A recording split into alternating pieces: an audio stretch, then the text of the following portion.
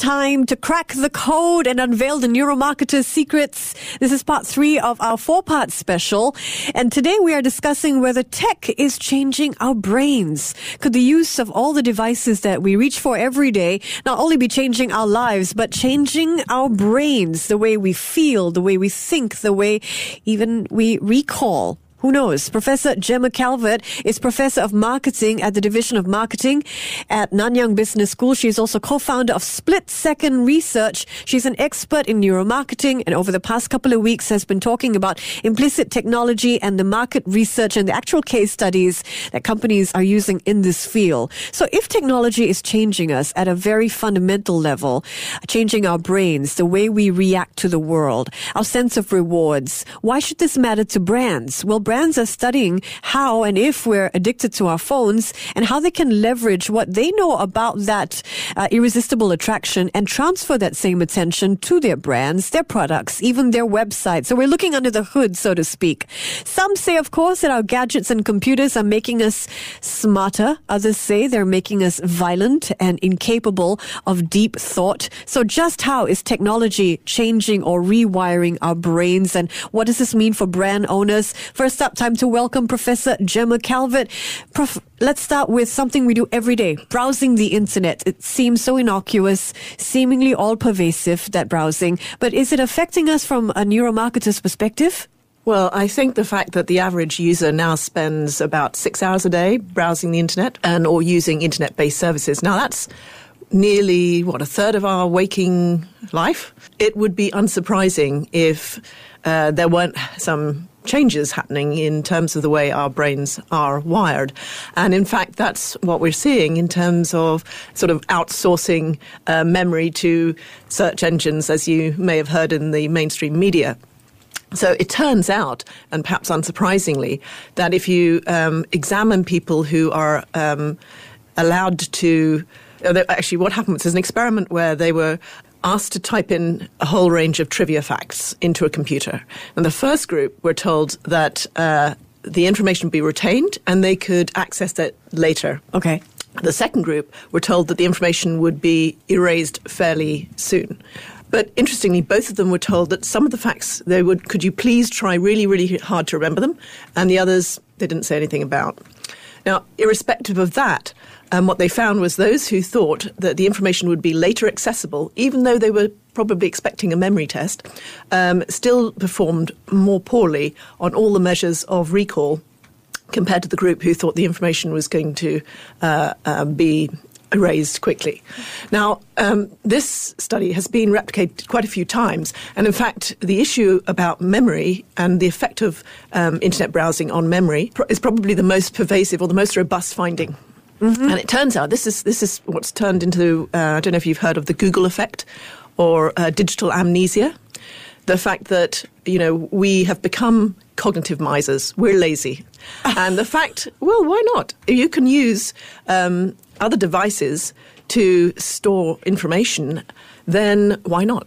I mean, let's, these supercomputers are going to have a much greater RAM than we can ever have. And it's not all bad news, though, because oh um, we have become more efficient at navigation and search. So we know where to find the information.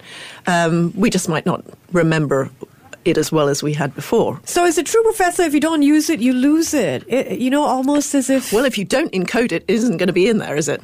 in, in your in your brains if you don't tell yourself that this is something that's important for you to remember or even subconsciously because you think something else is going to remember it for you you just don't you just don't make well, the effort yeah and it gets worse than that so there was a study um, using smartphones mm. where um, a group of uh, participants were asked to go around a museum yeah and they were told to explicitly take photos from their um, digital cameras okay. um, of certain objects, and for other ones, just to look at them and in- to encode them deeply. And again, the following day, they did a recall test. And counterintuitively, perhaps, um, the objects that they recalled the least were the ones that they had photographed. Again, it's as if, you know, you, you think when we take photos, we really pay attention. But the reality is, we have somehow implicitly assumed that that information is going to be stored, thankfully, so we don't have to recall it, by a digital device. That is fascinating, and that explains why I don't take photos when I'm on holiday. Let's move to the mobile phone that everybody has a ubiquitous mobile phone. Now, I like to blame it for the fact that I now need reading glasses, but could our phones really be changing us at a fundamental level? So that's a really big question, and it seems that the research to date, um, while still early in, in its infancy, infancy, yep. um, is showing that yes, um, our reliance on smartphones is changing the way we allocate attentional resources. Um, it's changing the way, obviously, we encode and recall information. It's also having an impact on, uh, I guess, our mood, our sleep. Um, we're seeing uh, aspects of separation anxiety. Yep. If, if, you know, I mean, we all need that phone. And if I take it away from you for 12 hours, you will see that, uh, you know, you start to become sort of anxious. And in fact, around 70% of people experience severe anxiety if uh, their phones are uh, are lost. So is in, is the phone addiction real? Yes, it is. What you're seeing in brain imaging studies is that when you hear these Facebook likes, they're the alerts. Yeah. Um, activation is happening in the brain's reward centers, the nucleus accumbens, which is rich with dopamine, the brain's feel good chemical. And that's being released every time you get one of those messenger alerts or a Facebook alert or an Instagram alert. Now, it's unprecedented in human history that we've had this level of dopaminergic expression, uh, short bursts of it, all the way through the day. And of course, this will have implications for how brands try and engage with us because we're used to having what we want when we want it and very often. So brands are going to be able to sort of um, prime our reward system or, or, work off the way our reward systems are being primed. Uh, if they're clever enough, I think that it's a challenge for them. To be honest, I think most most brands are struggling to understand how to navigate this new digital environment, both online and offline, and understand consumers' needs in the digital space. And I think it's difficult because consumers themselves can't introspect to explain how they behave. And what we're seeing is that, uh, you know, smartphone apps have set the bar so high in terms of rewarding fun stimuli mm. that marketers are turning to loyalty programs, to giving away free content, anything that's fun, engaging, exciting, and in small bursts is probably going to be the way forward. It's not enough to just sell stuff to them these days. It's got to be thinking about how do we uh, meet their needs, not what the technology can do, and making sure when they're ready to buy online, ready to provide it. Absolutely fascinating. It was 10 years ago when tech writer Nicholas Carr published an article in The Atlantic entitled, Is Google Making Us Stupid? He strongly suspected that the answer was yes. He himself was less and less able to focus or remember things or absorb more than a few pages of text. And he accused the internet of radically changing people's brains. But technology has its defenders, people saying tech makes us smarter and that the skills of the future workforce really depend on an ability to multitask. So Today we're asking, is tech changing our brains or is it just changing our cognitive performance, the way we react to tasks? Professor Gemma Calvert is Professor of Marketing at the Nanyang Business School and co-founder of Split Second Research. Let's tackle this area of concentration. A lot of people saying that because of the internet, people are less able to concentrate deeply and therefore penetrate real beefy ideas. Uh, I find myself watching TV with a laptop on my lap, switching between screens as if one screen isn't enough, you know. Uh, so is media multitasking affecting our attention? Yeah, I think there's quite a lot of evidence that that actually is the case by uh, from from numerous academic studies, and it's not just the um, internal need to keep checking Facebook and so forth, um, but we also get distracted or interrupted um, by these sound or buzz alerts. And even if you don't react to them, um, studies have shown that you perform more poorly uh, the greater the user you are. Um, so even if you have a smartphone left on a desk and it's not yours, uh, it's been shown that that will affect your performance negatively. Is multitasking a myth then? Of course, we know that because we are becoming, with smartphones, used to zipping from one app to the other. But you're saying it definitely decreases our performance when we do that? That's what the data show, yeah.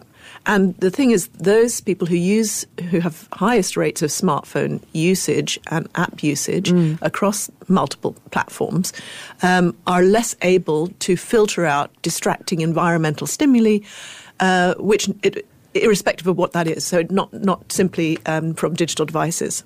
Okay. So purveyors of fake news really take advantage of the human inclination to want to believe what we want to believe. Tell us, Professor, do you think marketeers are shaping campaigns in line with what we know about how people uh, retain attention or how they recall or the way we perceive rewards? Well, I think that worldwide, as I said, I think marketers are struggling to catch up with this data because it's new.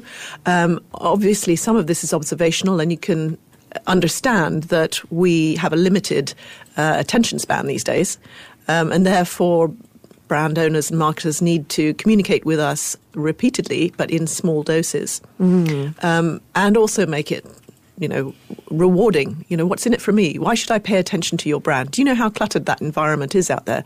You know, I, I, I think we're all as consumers overwhelmed by the sheer amount of stimuli, the amount of options, the amount of disruptive devices, apps, companies, services, and we're trying to make sense of this as well. Absolutely. So, with so much distraction everywhere, is there a possible inoculation effect that training in self control or critical thinking or training in concentration can have? So, I'm talking about sort of balancing the distraction all around us. Mm. Do you think that if we had programs that really specialize in getting people to enhance their, you know, self control um, and critical thinking would help?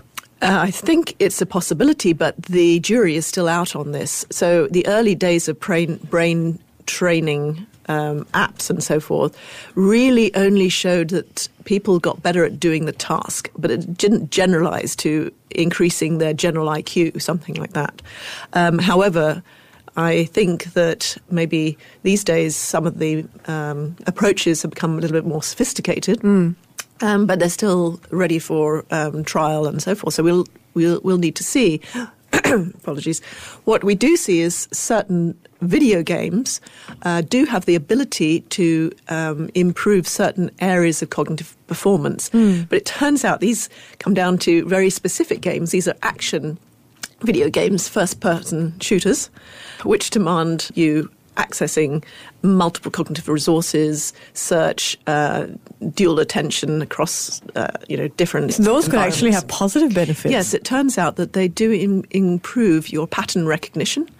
Um, but that doesn't extend to games necessarily on uh, the smartphones which are popular, like Candy Crush or Words for Friends. So it's very seemingly specific to those kind of shoot 'em up games. Oh my goodness. Okay, does any of this help us understand why people religiously buy iPhones despite rising prices, Professor? Why some things just seem irresistible? Well, I think that's a very specific question about that particular brand. Um, so obviously, it's linked into social signaling mm. and the fact that that's uh, you know it's a quality item, uh, premium with a very nice design. You know, I guess if you know you think it's the best of the best, then it's something which people want to have to demonstrate where they are on the social hierarchy, I suppose. Terrific. Next week we look at the future of neuromarketing, but for now it's time to say thank you to Professor Gemma Calvert, Professor of Marketing at Nanyang Business School, co-founder of Split Second Research. We've been talking about whether or not tech is changing our brains. You've been listening to Crack the Code, Neuromarketing Secrets Revealed. Money FM 89.3